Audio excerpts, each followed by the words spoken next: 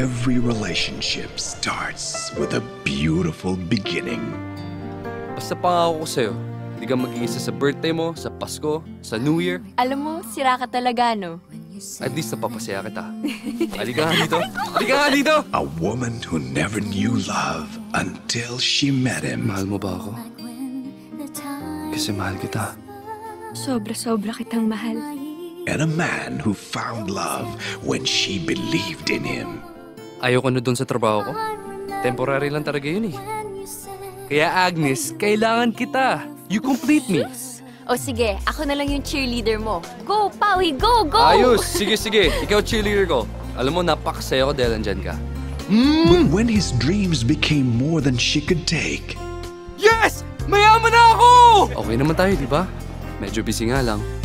Wala namang iba importante sa'yo kundi ang pera mo eh. Ang iniisip mo lang yung sarili mo. Napaka-selfish mo. she wanted love more than he could give. Si Agnes, she kept asking for more. Ilang beses mo na ba tinex? Hindi ko alam. Mga 10 times? Tapos nagtataka ka kung bakit napikon? When a relationship is bound to end, Ayaw niya na po sa akin. Ang sakit-sakit.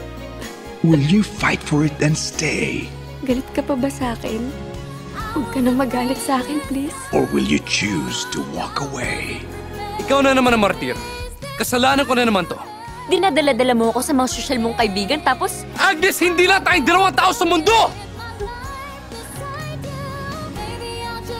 This October, Star Cinema proudly brings Francis Magundayaw, Ella Cruz.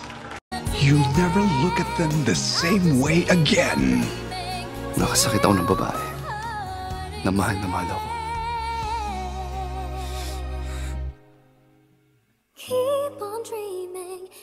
Till My Heartaches End, a film by Jose Javier Reyes, October 27 in over 100 theaters nationwide.